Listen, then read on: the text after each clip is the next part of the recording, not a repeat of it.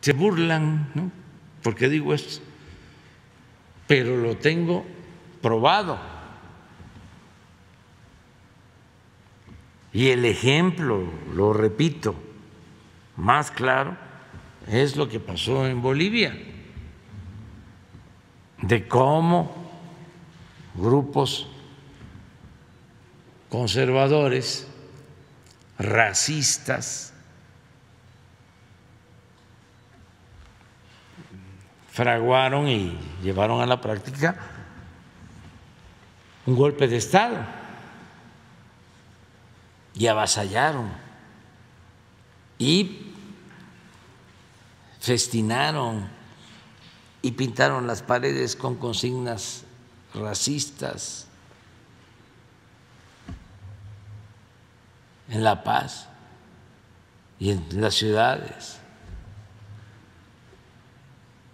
y aplausos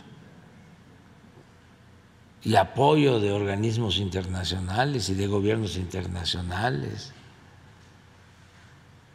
Y con mucha responsabilidad los dirigentes del movimiento popular y los indígenas, que son mayoría y que nunca habían tenido un presidente indígena, se quedaron callados.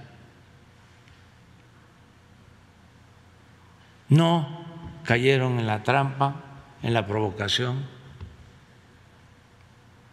Y los fachos se confiaron también por el desprecio al pueblo hicieron mal los cálculos, pensaron ya